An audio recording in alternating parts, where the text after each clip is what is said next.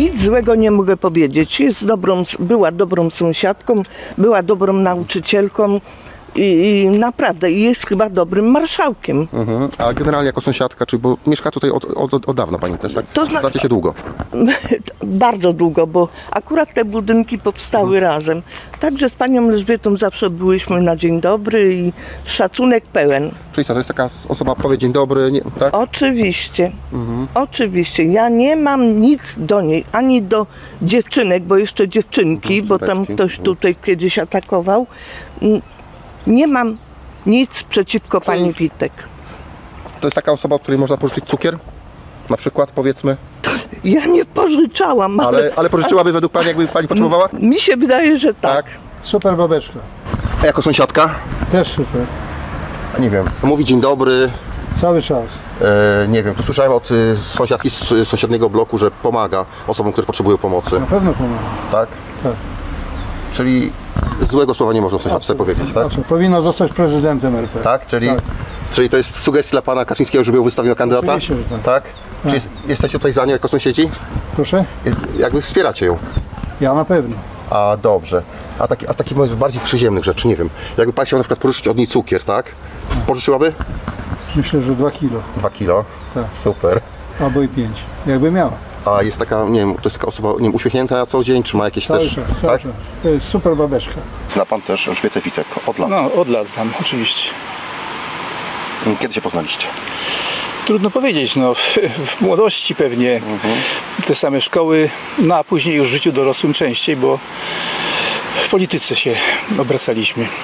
Działalność w podziemiu opozycyjnym, czy? Wcześniej działalność podziemna opozycyjna. Ja robiłem najpierw ulotki, potem radio Solidarność Wałbrzyska, a Ela y, taką bardziej oficjalną działalność, czyli pomagała układać krzyże na rynku jaworskim, krzyże z lampionami y, wraz z gronem kobiet, prawda, wspólnie to robiły. Jakim ona jest człowiekiem? Tak na co dzień, czy... Według mnie są dwie Elżbiety Witek. Ta pierwsza, którą znam, kiedy była dyrektorką szkoły jeszcze, nauczycielką mojego syna, nauczycielką historii i tę, która była w podziemiu, której to przekazywałem ramkę do drukowania y, jeszcze po 90 roku, kiedy były wybory, kiedy już powstała Unia Wolności, to ze Staszkiem Witkiem spotykałem się pod słupami z plakatami. Obydwoje wtedy mieliśmy plakaty Unii Wolności, profesora Ciemniewskiego. Różnica była taka, że ja miałem wiadro kleju i ławkowiec i 100 plakatów, a Staszek miał kilka plakatów i tubkę kleju. Ale byliśmy po tej samej stronie, zdecydowanie. No i od tamtych czasów Ela zawsze chciała zaistnieć na szerszym gronie, czy to politycznym, czy to samorządowym. Dlatego była radną miejską y, z ramienia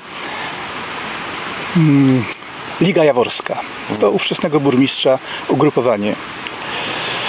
I chciała też zaistnieć w partii. Mówiono mi, że chciała również przystąpić do Platformy jako szefowa. Nie dostała tej możliwości, a więc poszła do PiSu. Żałowała na pewno tego, że nie należała do y, pierwszej partii Jarosława Kaczyńskiego. Proszę mi przypomnieć, to było Porozumienie Centrum. Porozumienie Centrum, ale jej kolega, woźnica z Jawora, pomógł jej. Ponieważ on y, pomagał zakładać struktury PiSu, wtedy została wciągnięta do tej działalności. I od tej pory powoli w moich oczach nastąpiła powolna, ale dokładna zmiana Elżbiety Witek na tę, która teraz jest. Przeciętny mieszkaniec Jawora. Dobrze ją kojarzy? Wiem, że jako dyrektorkę szkoły dobrze wspominają.